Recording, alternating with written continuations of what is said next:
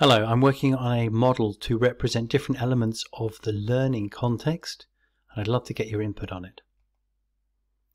So I'm trying to find ways to combine school, work and private learning with face-to-face -face and online learning, with synchronous and asynchronous interactions, formal learning and informal learning, and learning as an individual, collaboratively or as an expert.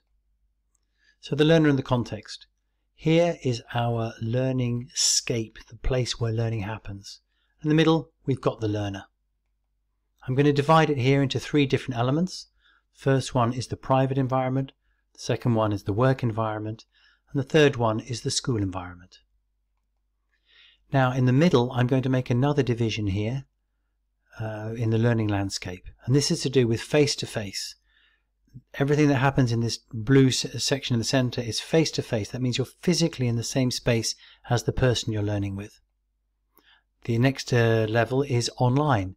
And here you can see this outer circle here is online, the different interactions. And I'm going to split online into two different elements. The first element, the inner ring here, that is going to be what we call synchronous. And here you can see the clocks are all on the same time. So you're learning at the same moment in time. The people you're interacting with, whether it's a teacher or uh, fellow students, are in the same moment in time. That can be in person, face to face, or it can be online. And the second level of the online is when we're learning asynchronously. Here you can see all the clocks are at a different time. And when we learn asynchronously, it's, that's when you choose when you learn, and the people you're learning with do not have to be in the same moment in time. Right, I'm going to add one additional level this is this ring on the outside you can see. And this is formal learning. Formal learning is learning as part of a fixed curriculum, a set uh, program you're following to get a certificate. It's training, it's part of a sort of structured learning process. And the second level is informal learning. A lot of learning happens informally. That's how we've always learned throughout history, just on our daily life, in our daily life. So this is the main model I uh, present to you. I'd love to get your input on it. I'm going to give you some examples of each of these sections to try to bring a little bit of colour in. So the first one I'd like to look at is learning in private. So here we are, we're in the private, this sphere over here on the right hand side. It's face to face, it's synchronous, that those are interactions are happening at that moment, and it's informal learning. This is how we've learned really throughout history, watching our parents interacting uh, in the same moment in time, just picking up skills by observing and doing hanging out with friends, chatting, discussing, or maybe playing in a sport, in a team. That's informal learning in your own time. The next level is formal learning in that context, and here you can see somebody learning to drive a car the same moment in time.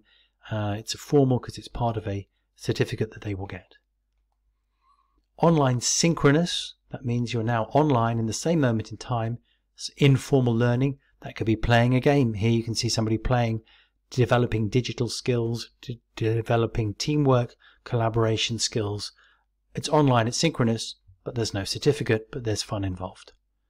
And informal learning could be somebody who's decided to take an additional course. It's a live lecture. They can interact with the person who's giving the lecture. They get a certificate at the end. It's private, it's in their own time, just out of their interest.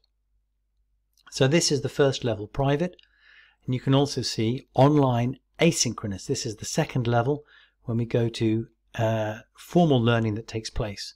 And this would be somebody who's decided to follow a course and now they're watching a pre-recorded lecture uh, of the content and informal learning would be somebody hanging out watching TV at the weekend, watching their favorite series, and that's informal learning because there's no fixed curriculum, but they're learning about history or learning about the world, and it's happening at a time of their choice.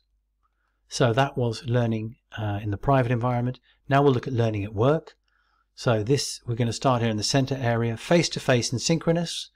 That means you're learning informally at work. Quite a lot of learning happens in that context just by watching somebody, seeing what they're doing, picking up information and observing. That's informal learning at work. Just uh, maybe interacting with somebody, asking some questions, no official training, but you're learning as you go. Formal learning would look maybe like actually carrying out your job, working as a uh, an assistant or a receptionist, getting feedback on the skills you're doing, or at an official training workshop in your uh, environment at work where you're getting a sort of a certain uh, information presented, you can interact live with the uh, trainer. Now, if we move online at work, synchronous, that's in the same moment in time, formal learning might be following a, uh, a Teams meeting where you have a training and you have to uh, interact and you can ask questions and you need to pass this course to get a certificate. Informal learning could be just hanging out with your colleagues, chatting with them, talking, discussing, and getting ideas. You're learning quite a lot about the company where you work or the environment you work in an online synchronous environment. Finally, we move to the online asynchronous. Now you see somebody just informally interested in something, picking up, uh, checking something in um, when they need to check it. Uh, there's no synchronous interactions. It's asynchronous at a moment of time they want, and they can get feedback, but asynchronously. And if we look at formal learning, we've got the same person who was studying a live interaction, live training at work. Now he's uh, following up on some pre-recorded content that he can watch in his own time. So that was uh, learning at work. Now we look at learning at school. And learning at school um, is where we traditionally think that a lot of learning takes place. Face-to-face synchronous. And I've started with informal learning. What might that look like? Well, just social skills, developing, laughing, learning how to interact with people, learning how to um, deal with feedback or confrontation. A lot of informal learning happening in the socialization at school. Formal learning at school, well, here you can see people working in a project group. Uh, well, they'll get credits for it. They need to interact, and they're in the same moment in time, same physical space. Here's the classic lecture, where you can ask questions directly to the lecturer from the expert, and you can interact with them, and that's all part of the formal course or maybe you're working on a in a laboratory doing experiments you've got a lot of technical equipment you need and you have immediate feedback and interactions with the lecturer and fellow students if we move online at school online synchronous in a formal context well that will be following a web lecture sorry following a live stream from a teacher you can see somebody in a Teams meeting, they're explaining. You can ask questions directly, and that's part of the formal learning or you might be part of a project group physically present in one place, but some of your team members are online. That's part of the project. You need to pass it, get your credits, and you're there for formal learning and it's online synchronous in a school environment. If we look at that informally, that would maybe be just hanging out, chatting to one of your friends, somebody who's, uh, you know, on your project group. Nothing really to discuss. You're just interacting. It's informal. It's online. It's synchronous and you're actually doing quite a lot of learning in that context. The final level of online is the asynchronous at school. If we look at formal learning, formal learning here you can see a whole bunch of different students all in a technology rich environment. They can all be at different moments in a course choosing which bits of uh, the module they're working on, feedback uh, physically from a, a teacher or a teacher online, but they're all in their own moment in time. And here you see uh, the final part of formal learning. It's online, it's asynchronous, somebody watching a pre-recorded lecture uh, or a session that was recorded and following up on it asynchronously. It's in a moment of time when they would like. So those are the three main elements. And here's the original model if we have a look at this. And what I'm interested to know is, does this cover it all? Does this cover all learning? So please let me know whether you think it does or whether, you know, there are things we can add to this model or modify. So I've covered the school, the work and the private environments. I've covered face-to-face and online.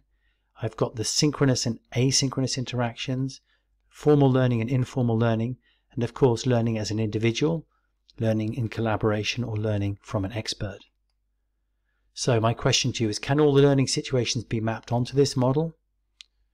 How do learners transition between learning situations? How can we support learners when they transition from one environment to another? And how can we make the transitions effortless? That's the next area I'll be looking at. Let me know your comments or thoughts. Does it make sense? Please get in touch. And I'd like to give a big thanks to the creative photographers at Pexels for their wonderful images. Let me know what you think.